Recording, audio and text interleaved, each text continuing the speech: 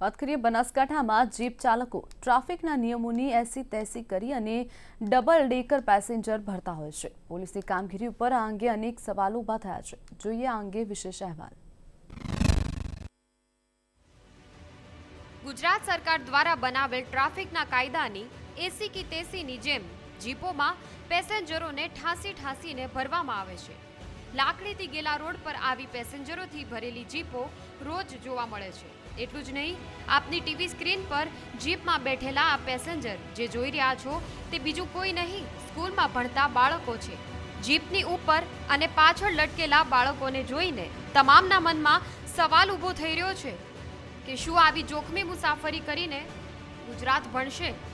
દરરોજ આવી રીતે બાળકોને બેસાડીને બેરોકટોક રીતે જીપો અપડાઉન કરી રહી છે. ત્યારે આ બધું ટ્રાફિક પોલીસના આશીર્વાદ વિના શક્ય નથી. જો પોલીસ કડક હાથે કામ લેતી હોત, તો આવા બાળકોને બેસાડવાની હિંમત જીપ ચાલકો ન કરત. જોખમી મુસાફરી કરતા વિદ્યાર્થીઓને જોઈને અનેક સવાલો ઊભા થાય છે. જો કોઈ પણ દુર્ઘટના બને, તો તેના માટે જવાબદાર કોણ? પોલીસ આવા જીપ ચાલકો વિરુદ્ધ કેમ કોઈ કાર્યવાહી નથી કરતી? કે પછી પોલીસ આ બાબત પ્રત્યે આંખ આડા કાન કરી રહી છે? કે કોઈ મોટી ઘટનાની રાહ જોવાઈ રહી છે. આવા અનેક સવાલો ઊભા થઈ રહ્યા છે.